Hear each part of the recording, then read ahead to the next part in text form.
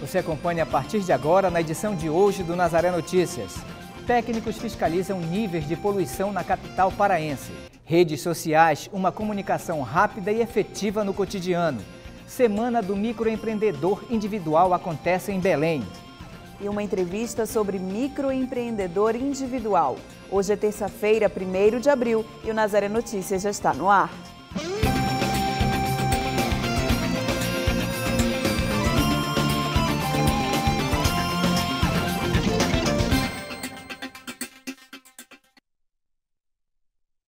A edição de hoje do Nazaré Notícias começa falando da Semana do Microempreendedor Individual. O evento teve início ontem e é promovido pelo Sebrae do Pará. A semana realiza um grande mutirão para tirar da informalidade os empreendedores paraenses.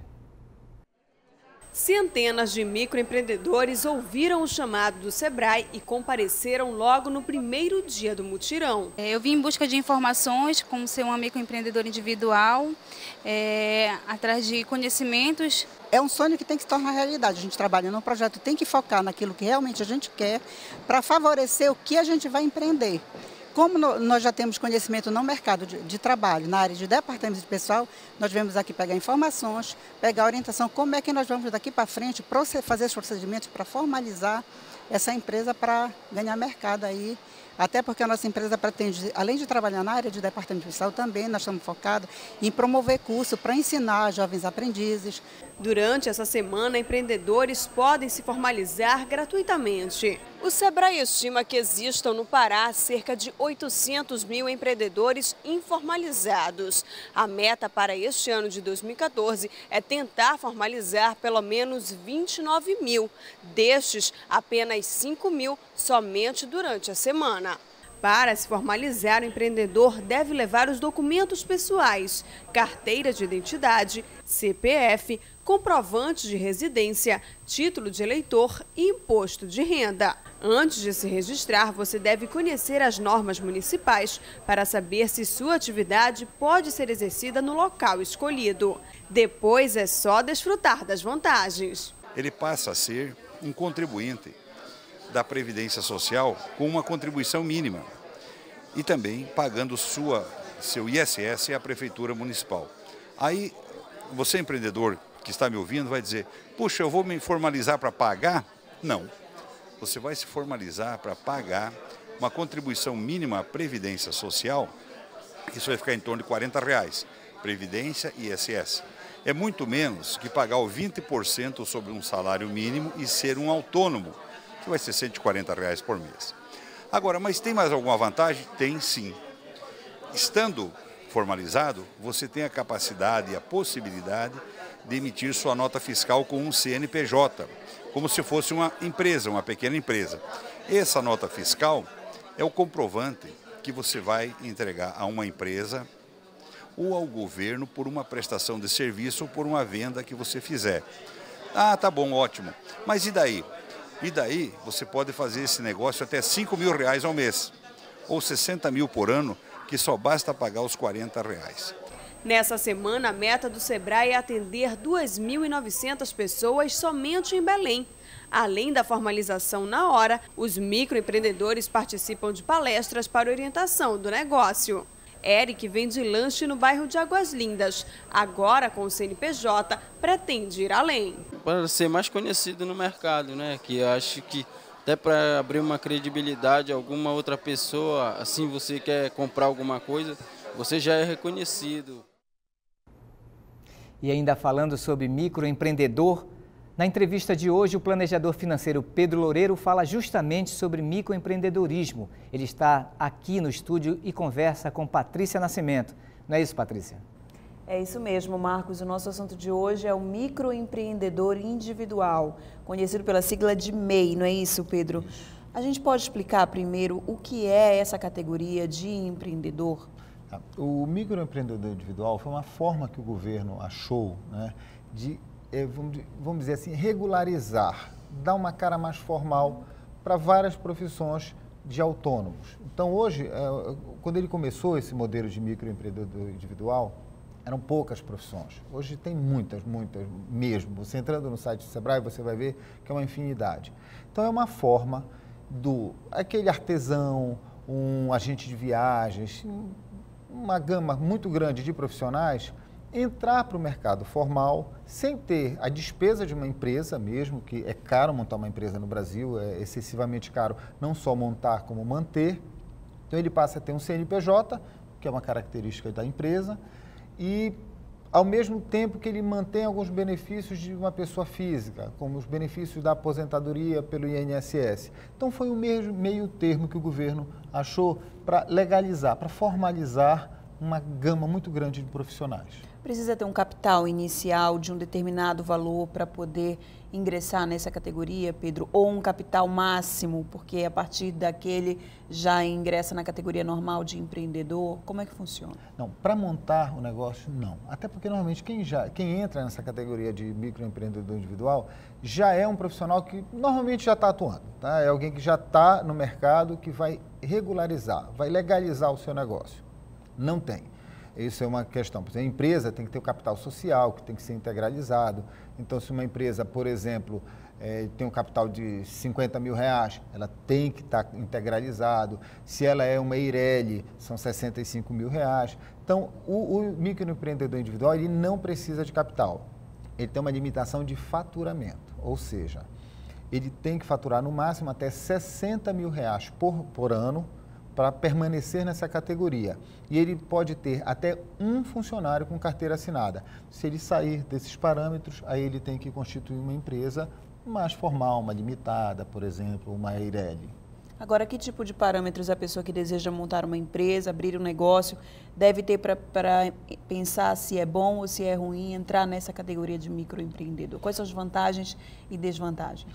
Olha, desvantagens sempre são muito poucas nesses casos. Você trabalhar na formalidade, na legalidade, é sempre muito melhor. Você tem muito mais proteção. É, algumas pessoas acham, poxa, mas se eu montar uma empresa, eu vou ter mais despesa? Vai, em alguns aspectos vai ter. Tem mais despesas, mas tem mais benefícios. Primeiro, é, os fornecedores, eles preferem muito mais fornecer produtos, fazer negócios com CNPJs né, do que com CPFs, ou seja, eles preferem fazer negócio com empresas do que com pessoas físicas. Então, o microempreendedor individual ele passa a ter um CNPJ. Com isso, já abre, ele já é visto de uma forma diferente no mercado. Então, já é o primeiro passo. Segundo, ele tem que ver que todos os benefícios que ele teria como empresário, ou na verdade quase todos, como microempresário, ele começa a ter como algumas linhas de crédito específicas para ele, mesmo as linhas regulares ele passa a ter com o CNPJ, ele paga menos impostos do que uma pessoa física. A pessoa física no, no Brasil ela é muito penalizada pelo trabalho dela. Você paga um imposto muito mais elevado. Só que o empresário, ele deixa de ter alguns direitos que a pessoa física. E essa categoria do MEI, ela permite, por exemplo, que, que ele pague dependendo se a área dele for serviços ou comércio ou indústria, de 37 a 41, 42 reais de INSS por mês. Com isso ele tem direito à aposentadoria. A gente sabe que a aposentadoria do INSS, INSS no Brasil está é, tá cada vez pior, isso é, isso é público, mas é melhor do que nada. Muitas vezes aquele artesão que não teria nada passa a ter direito. Se ele sofre, por exemplo, um acidente de trabalho e fica é, temporariamente incapacitado de trabalhar, por exemplo, um empresário não tem para onde correr. Ou ele tem um plano privado, ou ele não, não tem para onde ir. O microempreendedor tem. Então, ele tem uma série de vantagens que ele pode né, é, usufruir como empresário e como pessoa física. É uma combinação bem interessante, até um certo é, volume de negócios, é claro. Tá certo, Pedro. A gente vai continuar conversando no próximo bloco. Marcos, com você. O projeto de lei que reajusta a remuneração dos oficiais da Polícia Militar e do Corpo de Bombeiros do Pará foi aprovado ontem pela, pelas comissões de Orçamento e Finanças e de Constituição e Justiça da Assembleia Legislativa. Os deputados estaduais devem votar a matéria nesta semana e ainda neste ano os oficiais receberão cerca de 11% de reajuste. O projeto de lei implementa uma política de remuneração para os oficiais, aumentando os ganhos salariais nos próximos quatro anos. E vamos falar do preço do pescado. O Diese Pará, a Secretaria de Economia de Belém e a Secretaria de Pesca e Aquicultura do Pará divulgaram um balanço do aumento do preço do pescado no estado. A partir de hoje, até o dia 18 de abril, será feito um controle da saída do pescado do Pará. A medida será implantada pela Secretaria de Economia de Belém para fiscalizar o cumprimento do decreto estadual de proibição da exportação do pescado paraense. Do dia 1 até o dia 18, vamos fazer um controle da saída do pescado para que a população não seja desabastecida, se o mercado não seja desabastecido, a população tenha acesso a esses pescados, como também se estabilize, como efeito desse decreto, o preço do pescado. Tem subido muito realmente, mas a gente acredita que possa ficar mais acessível agora nesse período da Semana Santa. Nos três primeiros meses deste ano, o preço do pescado apresentou aumento de preço.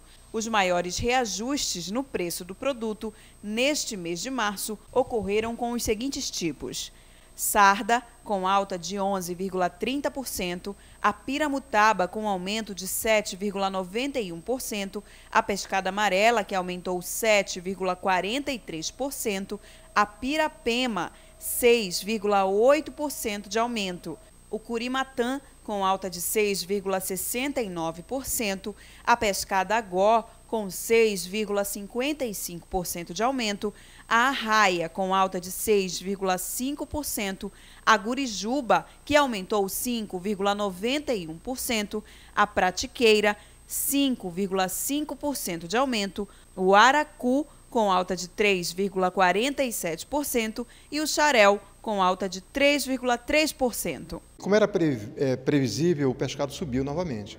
É, mais da metade do peixe pesquisado voltou a subir no mês de março, é, nos primeiros três meses do ano, nos últimos 12 meses. Então, nós estamos chegando à Semana Santa com pescado bem mais caro do que no mesmo período do ano passado.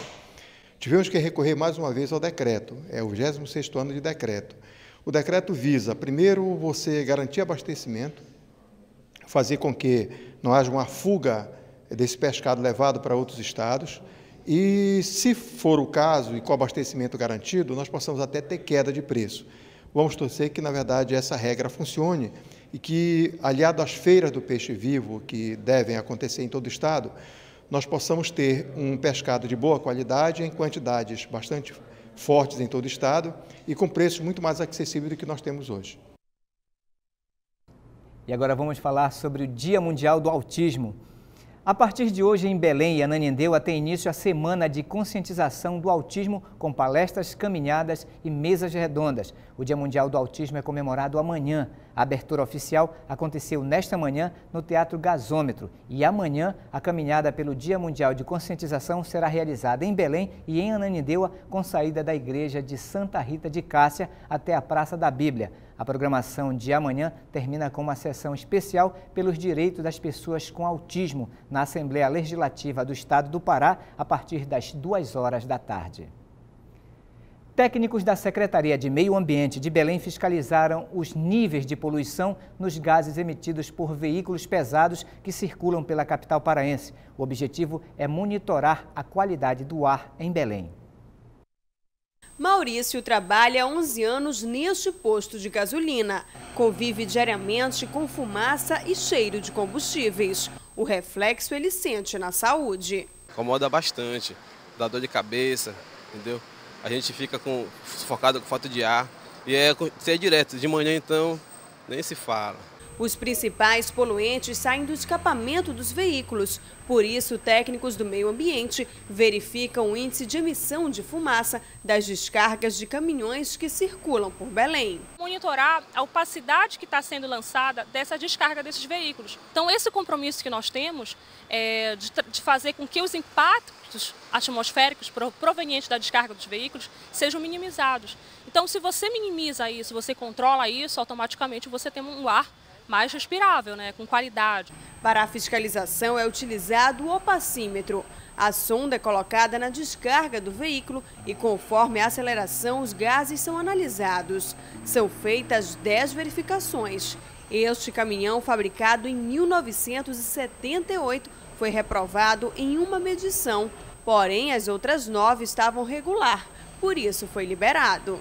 A operação também fiscaliza os veículos coletivos de Belém. Os técnicos da SEMA visitam as garagens de ônibus e verificam todos os veículos. Quando são encontradas irregularidades, os veículos são multados e retidos. Só voltam a circular nas ruas da cidade quando forem regularizados.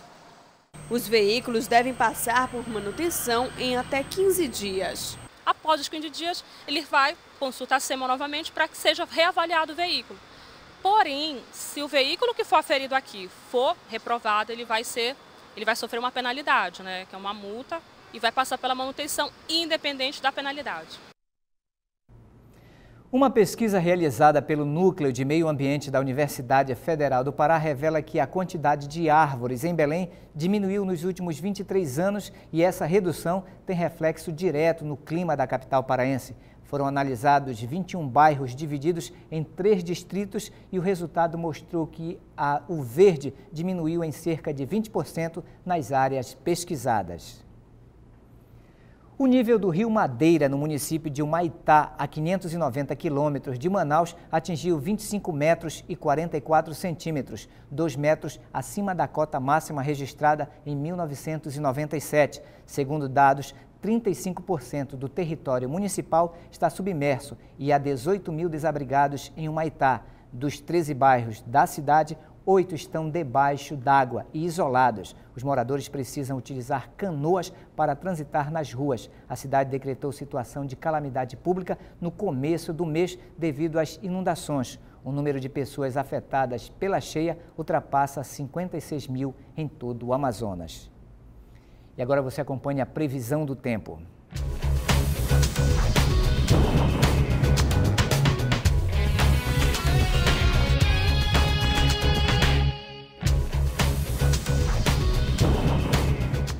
Tempo fica nublado e com pancadas de chuva em Tailândia, no Nordeste paraense. A temperatura mínima é de 23 graus e a máxima 27.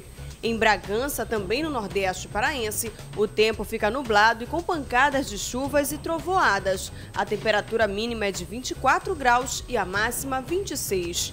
E em Barra do Corda, no Maranhão, o tempo será nublado com pancadas de chuva. Temperatura mínima de 24 e a máxima 26 graus.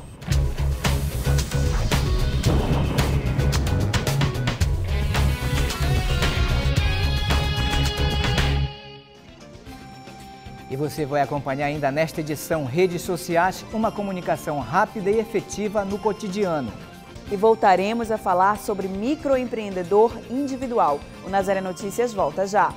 E voltamos com o segundo bloco falando de meio ambiente.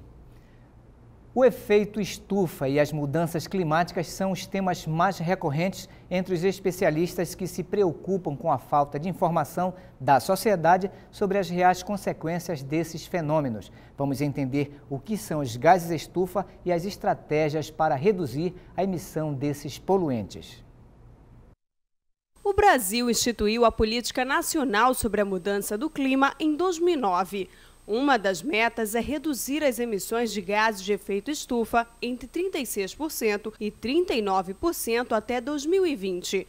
Mas quando o assunto é meio ambiente, este pesquisador revela que há pouco conhecimento por parte da população. Hoje o governo do estado do Pará a, com a Secretaria de Estado de Meio Ambiente e com o Programa Municípios Verdes, reativou o Fórum Paraense de Mudanças Climáticas, que é um espaço de discussão é, entre governo e sociedade civil.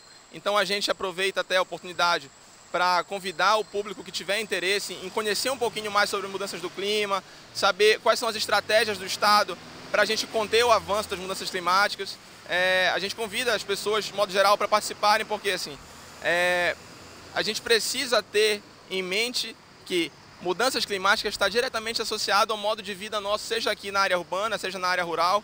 Isso traz consequências diretas para a nossa qualidade de vida. Quanto maior a poluição do ar, pior o efeito estufa. No Pará, as ações de combate focam no desmatamento.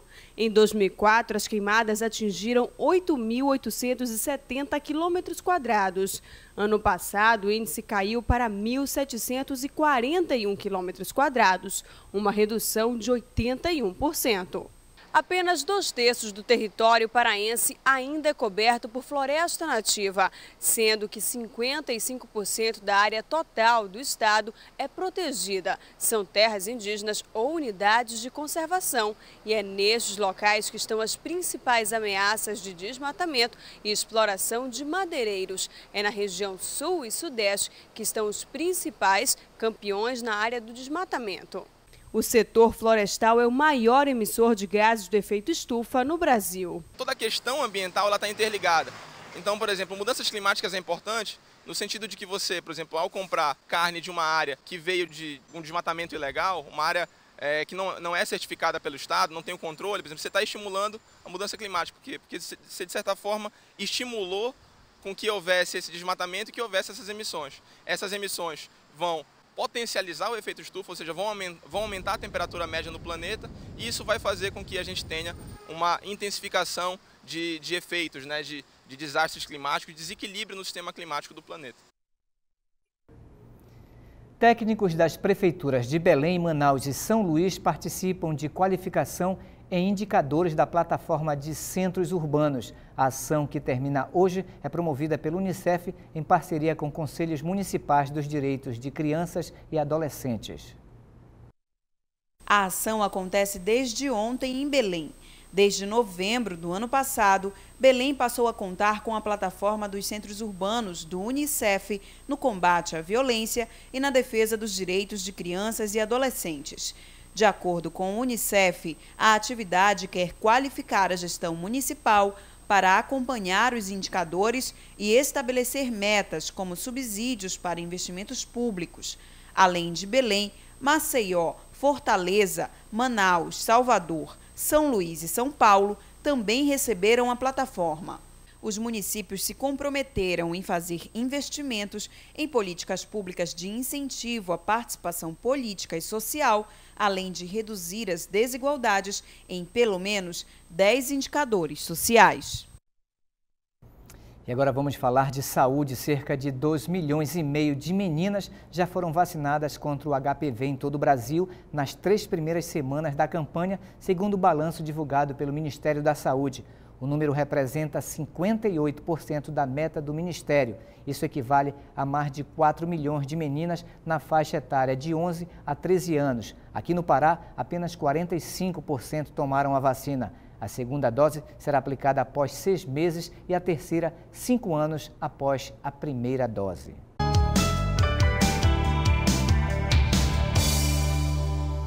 Olá pessoal, sou Juscelio Araújo, estou de volta aqui com vocês para dar essa dica sobre suplementação esportiva. O que, que seria isso? Na verdade, após a atividade física, ela é interessante a gente ter um suporte energético porque justamente ela é uma agressão. Né? Então a gente precisa ter esse suporte energético de rápida absorção. Então, na verdade, a suplementação, o carro-chefe é o famoso whey protein, né? que é uma, uma proteína é, do soro do leite, que ajuda na recuperação imediata da, da musculatura. Geralmente esse tipo de suplementação ele é orientado após o treino, dependendo da individualidade da pessoa, de como está a composição corporal. Geralmente é administrado com água ou com alguma fonte de carboidrato para potencializar essa absorção. Então aí já entra dextrose, entra o oximase, que já é uma área um pouquinho mais direcionada, né? Então para isso requer um certo, uma certa conscientização e uma análise da composição corporal da pessoa, de intensidade de treino, de duração de treino certo? Então, hoje em dia está muito banalizado essa questão da suplementação. Hoje em dia as pessoas não estão tendo essa, essa consciência de que é interessante consumir, mas que bem direcionado. Existem alguns suplementos que eles já foram recentemente barrados pela vigilância sanitária, né, devido a ele não conter justamente substâncias que a nossa legislação brasileira condiz. Né? Então é algo que a gente tem que levar em consideração porque isso pode causar um certo prejuízo a nível orgânico e o que a gente está pensando que vai melhorar a composição corporal, a estética, pode prejudicar de uma forma interna. Então tenham atenção, verifiquem a credibilidade tecnológica da empresa, procurem profissionais direcionados para dar essa certa orientação e não se esqueçam de comer. Não adianta tomar os melhores suplementos se a pessoa não se alimenta bem. Né? Essa foi a minha dica de hoje. A gente se encontra na próxima semana.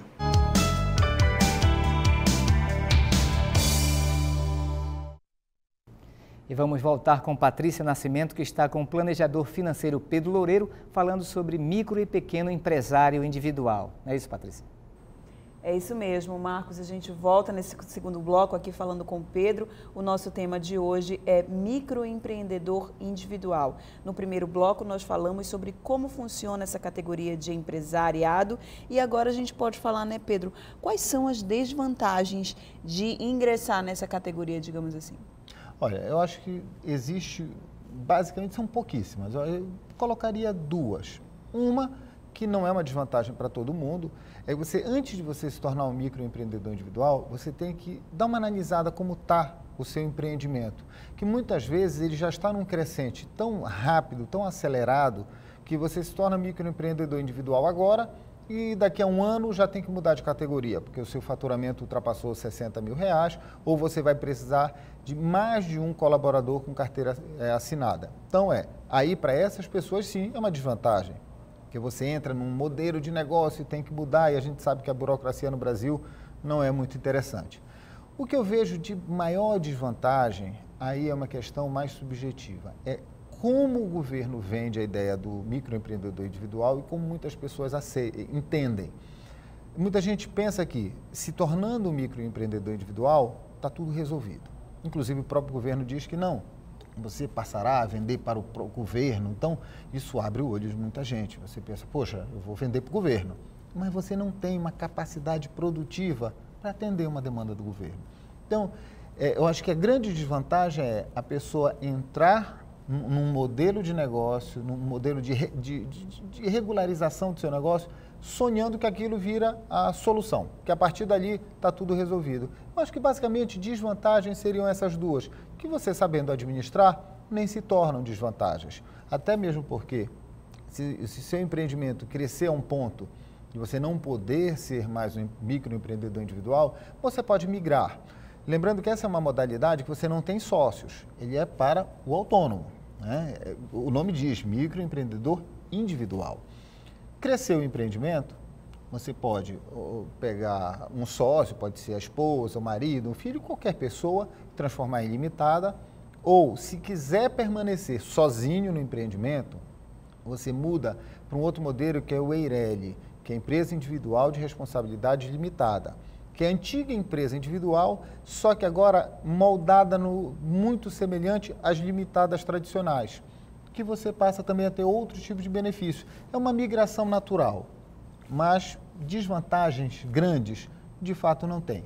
É como você se posiciona no negócio. A situação inversa existe, Pedro? Por exemplo, um empreendedor né, que tem uma empresa grande e passa por, digamos, algum tipo de dificuldade, pode migrar para essa outra categoria menor? Não, se você já tem uma empresa, você não pode mudar. Tanto que isso é uma, é, é uma condição. Se você tem, se você faz parte de qualquer outra empresa, você não pode ser microempreendedor individual. Tem algumas regrinhas que são muito simples, até porque não faria sentido, né? Ela é para um profissional autônomo. Ah, eu não tenho mais empresa, eu fali, perdi tudo, posso recomeçar? Aí é diferente. Mas você não pode pegar a sua empresa e transformar numa MEI, ou você ser sócio de uma empresa e se tornar microempreendedor individual. Muitas vezes, às vezes, as pessoas dizem, poxa, mas eu sou sócio de uma empresa só porque, por exemplo, minha esposa tem uma empresa e ela quer que a empresa seja limitada. Por isso eu sou sócio só para compor. Não interessa, você faz parte daquele CNPJ, então você não pode, aí não tem jeito. Você não pode fazer esse caminho inverso é, mantendo relação com outro CNPJ. Mas é, a, o que mais mete medo no brasileiro, quando se fala de uma empresa, a burocracia e os custos. Né? Isso daí é, assusta qualquer um e verdadeiramente é um grande entrave no Brasil. No caso do microempreendedor individual, para você ter uma ideia, você em 15, 20 minutos você regulariza a sua situação. Aí tem que procurar o Sebrae, mas é muito simples mesmo. Você entra, senta ali com um consultor do Sebrae, 20 minutos depois você levanta regularizado. Isso daí é, é, é até meio estranho para quem está acostumado com a burocracia brasileira. Tá certo. Muito obrigada, Pedro, pela tua participação aqui hoje. A gente lembra você de casa que se você quiser sugerir temas para as nossas entrevistas, você pode ligar para o 4006-9211. Na próxima terça-feira, o Pedro Loureiro vai estar novamente aqui conosco falando sobre mais um tema de economia. Marcos. Obrigado, Patrícia. Obrigado, Pedro. Hoje entra em cartaz no Espaço Cultural Banco da Amazônia a mostra Registro Visual da Belle Époque em Belém. A exposição pretende atrair a atenção do público que vive na capital paraense para um recorte histórico, evidenciando traços do dia a dia. A mostra é resultado da seleção e registro fotográfico de 30 casarões que tiveram grande relevância na história de Belém, retratando detalhes de cada um deles. Começaram hoje e terminam amanhã, no Fundo Ver o Sol, em Belém, as inscrições para cursos profissionalizantes. Serão ofertadas 25 vagas para o curso de arranjos florais e 180 para o de informática avançada. Os interessados devem ter a idade mínima de 16 anos para o curso de informática e de 18 para o arranjo floral. O fundo também disponibiliza cursos de empreendedorismo e de gestão ambiental. Mais informações pelo telefone 3226 3722. E vamos falar agora de tecnologia e comunicação. As relações sociais que mantemos no nosso dia a dia são diversas. Elas podem ser feitas por meio de um diálogo direto ou até mesmo mediadas pela internet. Ao longo dos anos, o uso das mídias sociais se tornou uma das principais formas de comunicação e interação. Toda comunidade é uma rede social. São as relações entre as famílias, grupos de amigos, igrejas, enfim. Dentro desse contexto de redes, surgem as mídias sociais, nas quais as relações sociais são mediadas. A gente está sempre falando de rede social e de mídia social, que elas podem ser a mesma coisa em vários momentos, mas é, a mídia social ela tem um mediador, né? é uma mediação. Então, a, a interface da internet, né, da, do, do, computador ou do celular, é um intermeio, um intermédio para você falar com alguém. Não como numa rede social que é fora da internet, que é qualquer relação né, que você desenvolva, que você tenha com a sua sociedade, com a sua família, com seus amigos. Então, todo, todo esse movimento, redes sociais, né, as mídias sociais estão dentro desse contexto, mas elas são bem mais focadas para uma internet. A utilização das mídias está cada vez mais frequente com a internet e plataformas que possibilitam maior diálogo, mas essa utilização não é de agora. Ela acontece desde o surgimento da imprensa, o rádio, a TV, veículos que permeiam os diálogos. Depois do nosso trabalho, a gente interage bem mais com mídias do que com pessoas. Apesar de que tem pessoas do outro lado, mas é, como eu estou dizendo, ou pessoas produziram um conteúdo que você acessa, mas tem um intermédio. Né? Então, ele não fala nem só das redes sociais, mas de qualquer mídia. A gente, é, isso não é de agora, né? mas desde as primeiras mídias, você pode ter mesmo um impresso, o rádio, a televisão, a gente às vezes até como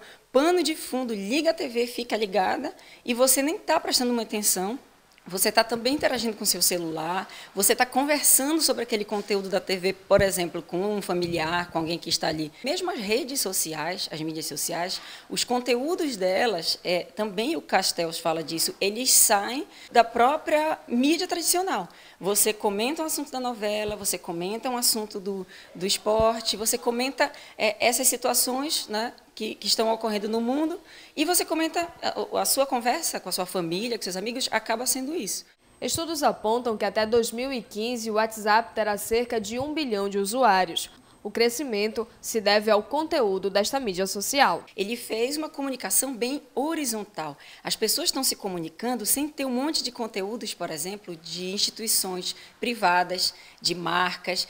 Então, as pessoas começaram a se afastar dessa rede social com os conteúdos verticais e horizontais misturados. É cada vez maior a adesão das pessoas às mídias sociais, graças à facilidade tecnológica. Hoje é possível ter acesso a essas mídias no celular, por exemplo.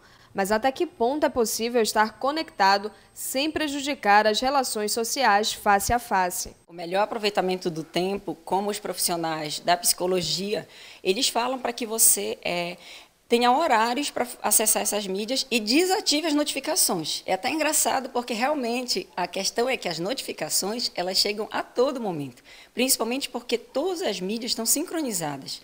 Né? Então, não é só mais a chamada perdida do telefone.